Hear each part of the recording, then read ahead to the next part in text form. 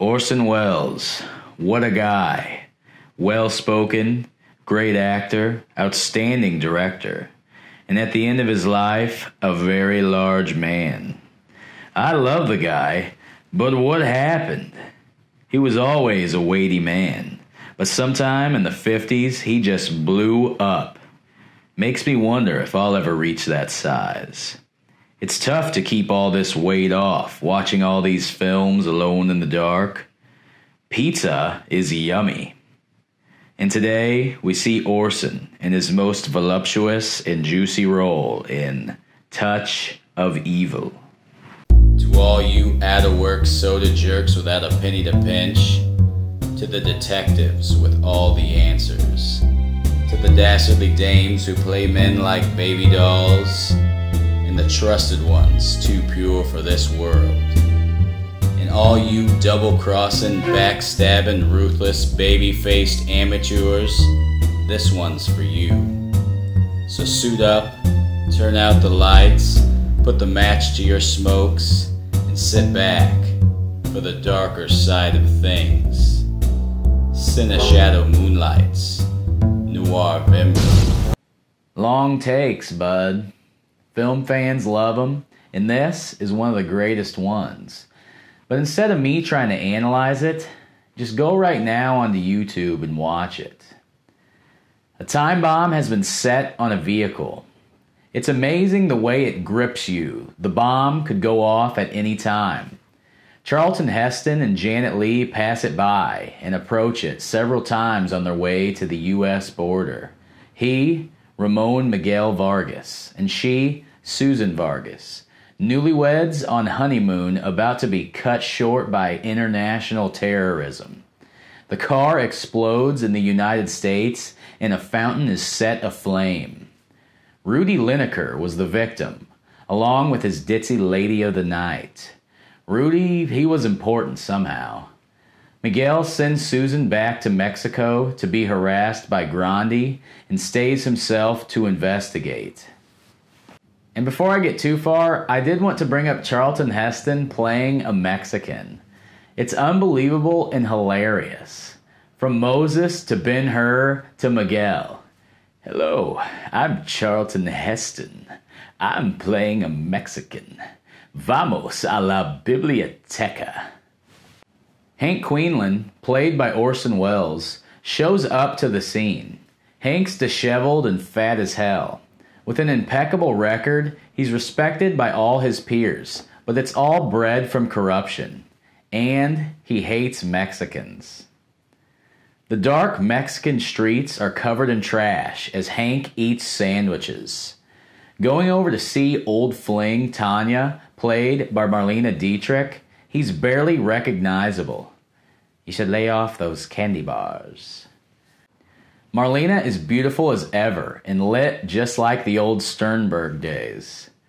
Quinlan and Vargas take an immediate dislike to one another. Vargas should get the hint that no one here should be trusted, and he leaves his wife alone much too often. Susan does hold her own to an extent, as she's taken to Grandi to be warned, and as a man spies on her undressing through her hotel window. She's further harassed and lonely at a hotel, which ends up being owned by Grandi. And the whole time, Vargas is being looked down upon and acid being thrown at him. Look after your lady better, man. A man by the name of Sanchez ends up being the prime suspect for the bombing. He is dating Linnekar's daughter, Marcy, after all. A violent interrogation leads Quinlan to find dynamite in a shoebox sealing Sanchez's fate and putting a nice bow on the case. Vargas knows this is horseshit, having knocked the box over previously and noticing nothing inside. Teaming up with Assistant District Attorney Al Schwartz, Vargas combs the police records for past clues. Vargas notices several instances of evidence found by Quinlan and a bill of sale for dynamite. Bringing this evidence to District Attorney Adair and Police Chief Gould angers Quinlan, and he acts like a baby, giving up his badge as he storms out. They end up sticking with Quinlan, and he accuses the Vargases of being dope addicts. Grandi brings Quinlan back to drinking, and they team up for revenge. Back at the hotel, crazy nightman Dennis Weaver is overtaken by Grandi's man Pancho. Mrs. Vargas is terrorized with music and taken after marijuana smoke and dope are left in her room.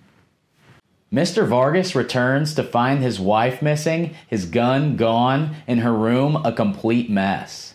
Nightman Dennis Weaver ends up giving info that she is being held at Rancho Grande.